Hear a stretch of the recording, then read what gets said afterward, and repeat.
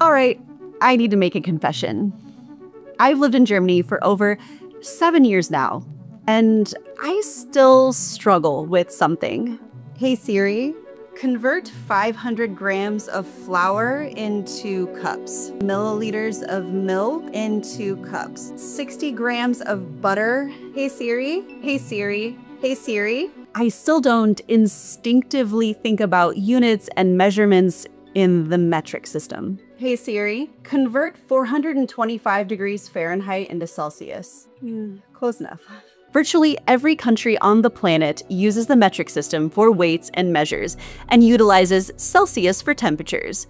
Save for three Burma, Liberia, and the United States, where we still use miles, pounds, yards, gallons, inches, and Fahrenheit.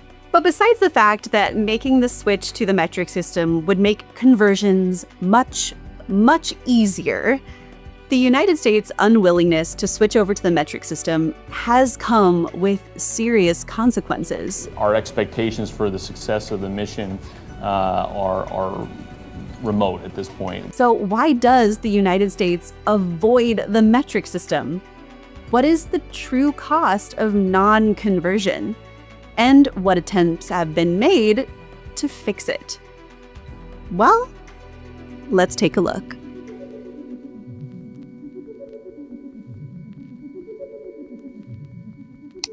Copy, Bravo 997. Thanks.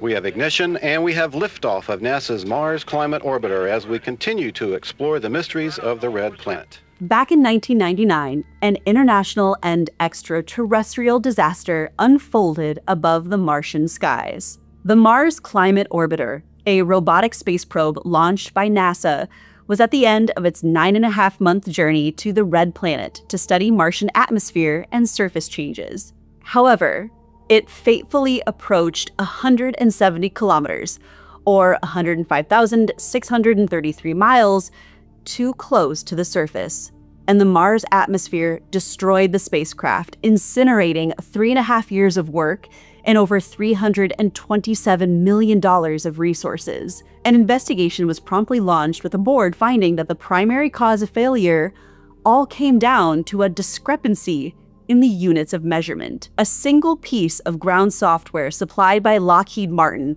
produced results in a United States customary unit while a second system on board the spacecraft, supplied by NASA, expected those results to be in metric units, also known as SI, or the International System of Units. This meant that each time the spacecraft balanced the change in momentum with a thruster burn, the spacecraft moved further away, not closer to its supposed location. Fine but to be honest with you, the chances of uh, hearing from them will be greatly decreased. No signal from the Mars Polar lander uh, reaching Earth. And while this specific example of unit conversion is quite frankly out of this world, it highlights the real consequences of unit confusion. After all, not very many people instinctively know that one pound is equal to 0.45359237 kilograms it just rolls off the tongue, right? so, how did we get here? Officially, the US uses a system known as US Customary Measures. It is an adaptation of the imperial system brought over during the colonial times when we were still part of the British Empire. The UK is now officially metric based, but some of the old imperial units of measurement are sticking around there too, because old habits are hard to break. Common examples include miles for road distances, pints for beer and cider, and stones and pounds for body weight. And perhaps these measurements stick around because they're comfortable, familiar, and you can visually approximate it. A foot, although varying to great degrees, is more relatable than a meter, which is originally defined as 1 10 millionth the distance from the equator to the North Pole as measured from Paris, France. An inch is about the width of an adult thumb, which is where we get the phrase as a rule of thumb. But the same familiarity is also true for the mile, which actually draws its roots back to ancient Rome, where it represented a thousand paces. This was, of course, revised over the years, thanks again to our British forefathers, who determined in 1592 that officially a mile should be eight furlongs, which was the length of a plowed trench that a team of oxen could pull in one day. But you can copy and paste this to other units of measurement too, whether it be for a pint of beer, a bushel of corn, an acre of land, or an engine's horsepower but some measurements are just truly frustrating. Despite the fact that the word ounce comes from a Latin word meaning 1 12th, there are 16 ounces in a pound, thanks in part due to a system developed in the late Middle Ages and the international wool trade. That being said, temperature measurement to me is a really interesting thing that us Americans have pushed back against. In comparison to Fahrenheit, Celsius is pretty reasonable. It's an easy unit of measurement to think about. Both the freezing temperature of water and boiling points are a nice round number 0 and 100. In Fahrenheit, these are 32 and 212, which admittedly seems pretty illogical.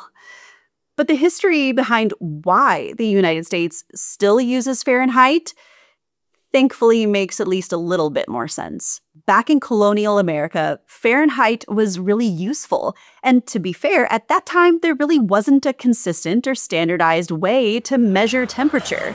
We should have two different unrelated scales of temperature. One of them will make sense to the entire world, and the other will be super random. Our great nation will use the random one.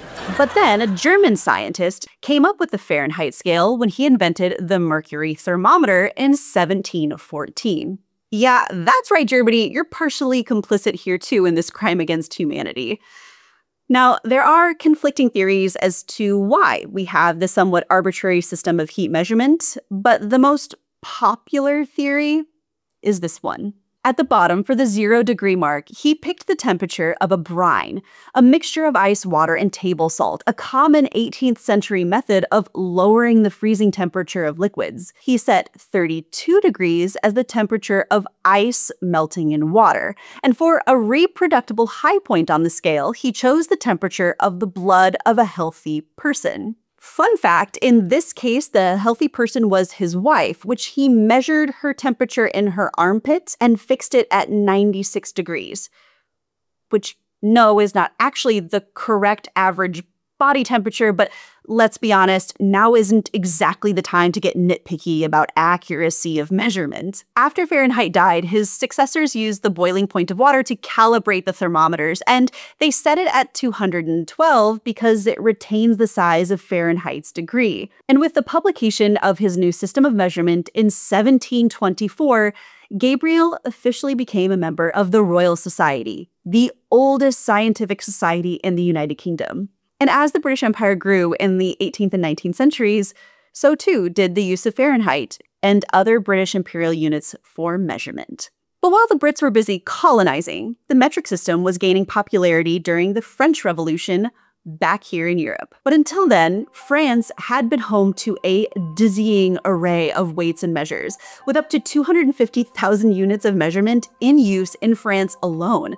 And other nations and regions within those nations had their own ways of quantifying the world around them. This was a measurable nightmare for scientists who dreamed of an international standard based on some universal, unchanging constant. So, in the late 18th century, Enlightenment era Frenchmen saw a tantalizing opportunity in the political upheaval that gripped their nation. To this end, the French Academy of Sciences decided that the measurement underpinning society should get an upgrade as well. The new system was readily adopted by the newly formed French state, but the public took a little bit more time convincing.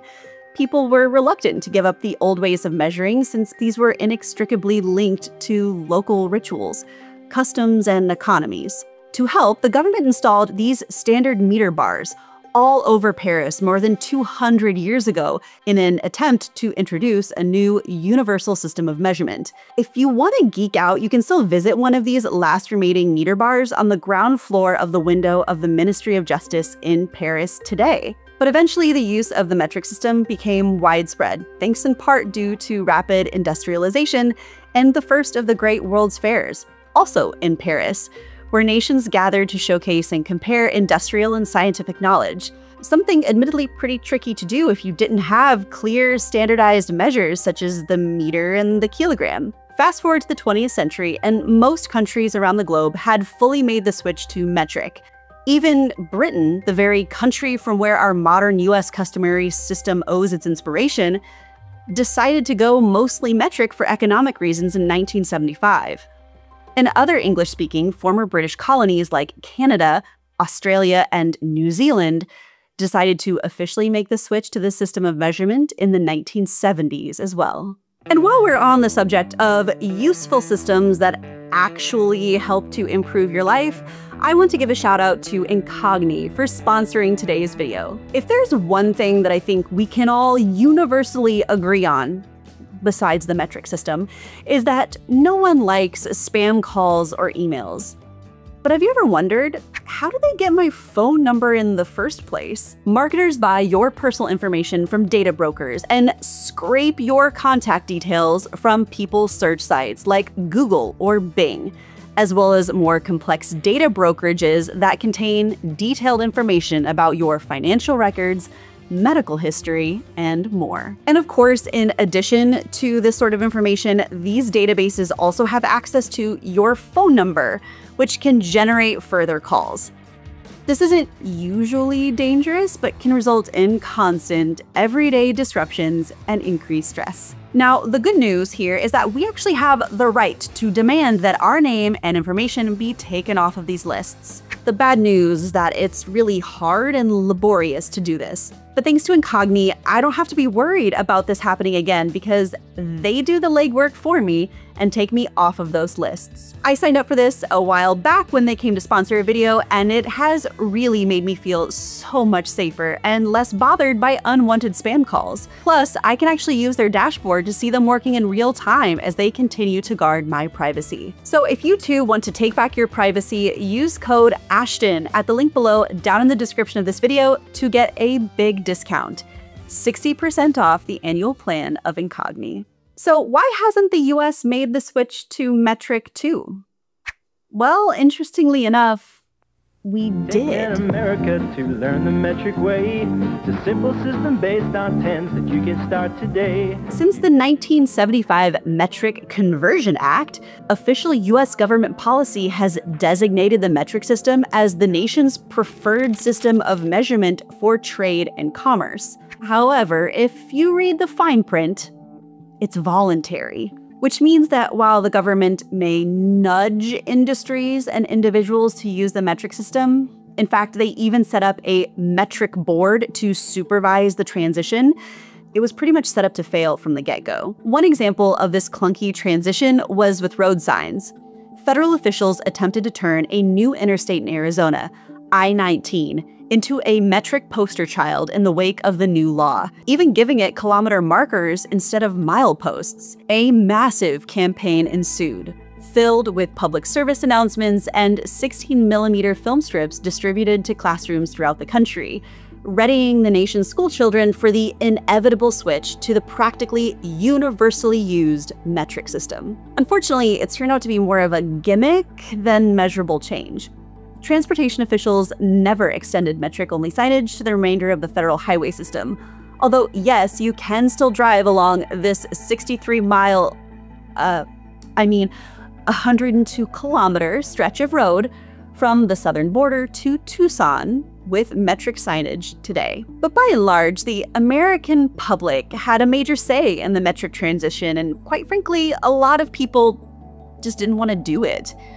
Even though it is short sighted, motorists didn't want to have to read signage in kilometers and kilometers per hour and then look at a dashboard with miles per hour.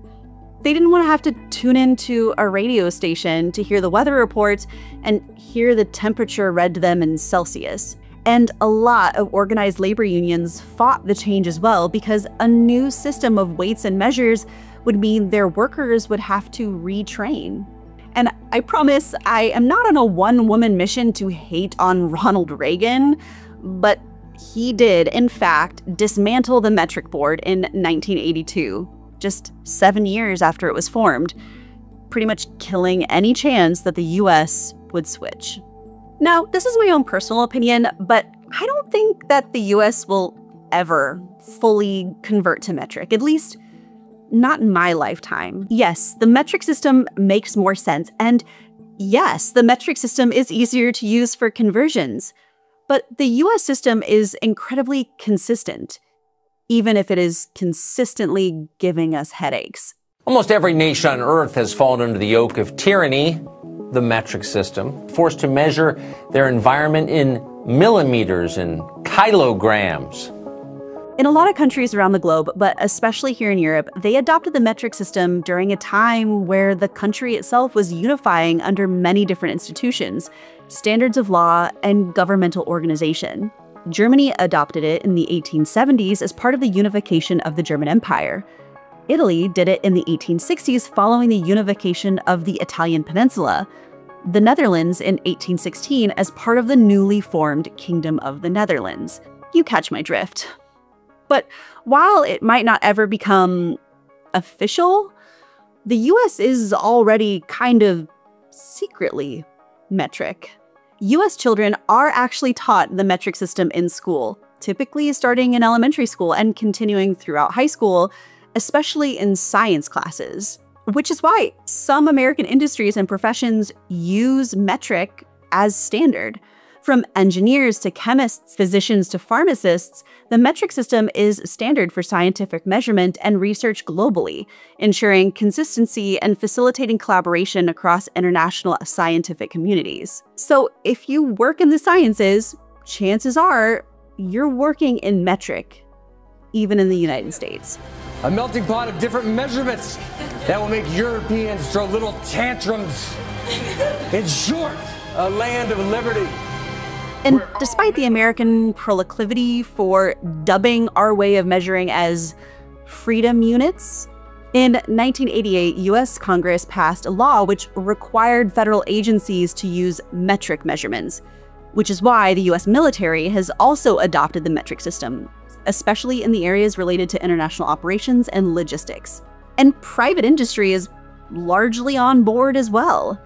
In 1992, another bill required businesses to use metric for consumer goods too, which is why you find both units of measurement on most prepackaged goods sold in the United States. By the way, this actually has nothing to do with the product's ability to be sold in other markets. Here in Germany, those brands only list metric, which yes, is frustrating because almost all companies have to create two separate products and maintain dual inventories, one to be sold in the United States and the other in almost every other country. But nonetheless, I think all things considered, you know, unless there is real meaningful economic or social change that can sway public opinion, I think the US is just too set in its ways to fully switch to metric at this point. We have internationally accepted standardized conversion scales, and I think for a lot of Americans, fixing this issue feels more like a pet project than a real national benefit. Even despite all of the great, worthwhile reasons to do it.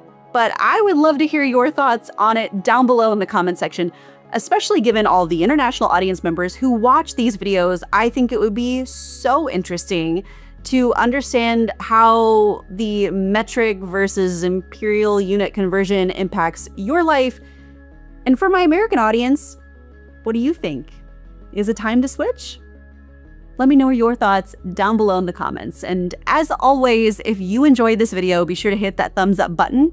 And for more content from Type Ashton, hit that subscribe button. So I'll see you in the next video. Cheers!